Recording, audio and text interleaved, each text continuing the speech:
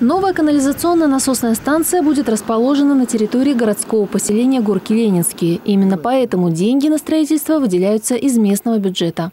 Все депутаты понимают важность этого вопроса, и все депутаты еще в прошлом году говорили о том, что, а, соответственно, ну, готовы будут поддержать, да, то есть вот эти изменения. 29 января только ПТ УГХ получила на руки а, нулевое ГПЗУ. То есть 28-го оно было подписано, 29-го они получили на руки. А сегодня у нас 7 февраля, и мы уже собрались, да, то есть принимать эти изменения в бюджет. В соответствии с регламентом, перед тем, как вынести решение о финансировании, состоялось заседание бюджетной комиссии. В нем приняли участие председатель Совета депутатов Ленинского района Станислав Раченко и генеральный директор Видновского ПТО городского хозяйства Александр Митряйкин. Именно он стал докладчиком по вопросу, познакомил депутатов с проектом КНС и озвучил схему расходов. Общая сумма, которую необходимо выделить из бюджета поселения, составляет 8 миллионов рублей. Понятно, не окончательная сумма. Значит, сейчас э, мы это все отдаем в Центр торгов, когда будет уже, условно говоря, там проверяться, размещаем на площадке. И согласно учету федерального закона это все будет разыгрываться. Значит, разыгрываться и выйдет на э, значит, работу это та организация, которая представит, представит самую, ну, не надо рассказывать, так сказать, особенности этих торгов, которая предложит наиболее выгодную для нас цену.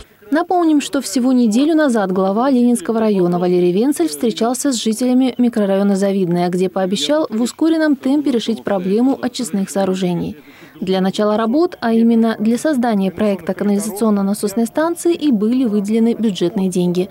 На работы по возведению КНС по предварительным расчетам требуется более значительное вложение – 50 миллионов. Планируется, что они будут предоставлены областью. Я обратился с просьбой губернатору о том, чтобы нам помогли с финансированием. Вот до 28 февраля стоит срок исполнения данного поручения губернатора.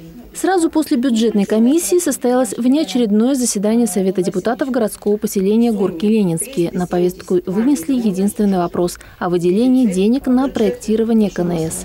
За положительное решение депутаты проголосовали единогласно. Я, собственно говоря, почувствовал немножко себя военным. Почему? Потому что никогда так быстро, оперативно не принимались решения и столь единым голосом, единой командой. Заседание прошло очень быстро, за что, собственно говоря, вообще спасибо Совету депутатов. Значит, они откликнулись на нашу просьбу, и сделали мы это совместно, оперативно с ними. За что огромное спасибо.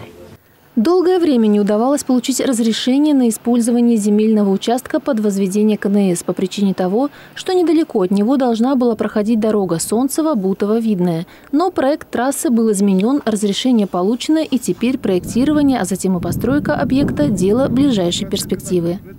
Как вот вы относитесь к этому как раз событию? Нет, ну, конечно, хорошо, потому что я живу вот в этом доме прям, и мы надеемся, что все решится, и мы будем дышать нормально.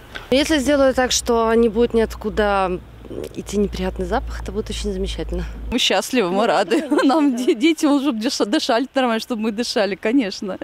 Планируется, что проект будет создан и пройдет государственную экспертизу в течение трех месяцев, после чего начнется строительство канализационной насосной станции. Татьяна Брулова, Максим Козлов, Сергей Ларин. Видное ТВ.